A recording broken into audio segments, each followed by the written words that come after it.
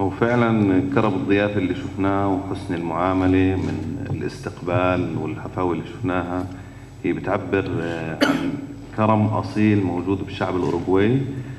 وإحنا ان شاء الله سعداء جدا في بدء التعامل آه، التجاري بيناتنا باذن الله. Por ese recibimiento caluroso nos da un empuje eh, para sentirnos bien.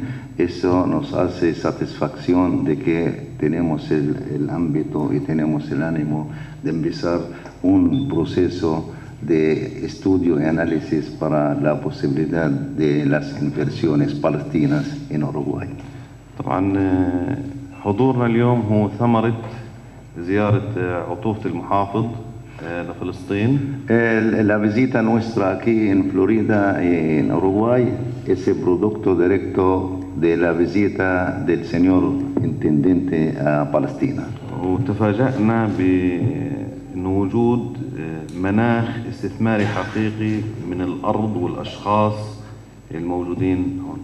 Y hemos observado eh, muchos terrenos de inversión, eh, todo sujeto a negociaciones y conversaciones y posibilidades que se puede dar. وإن شاء الله نأمل آه، إذا القوانين تساعدنا بالشكل الصحيح نأمل بإقامة استثمارات ما يقارب ال 250 مليون دولار Eh, en nuestra proposición es trabajar juntos en todos los niveles para estrechar en nuestras relaciones comerciales y de inversión.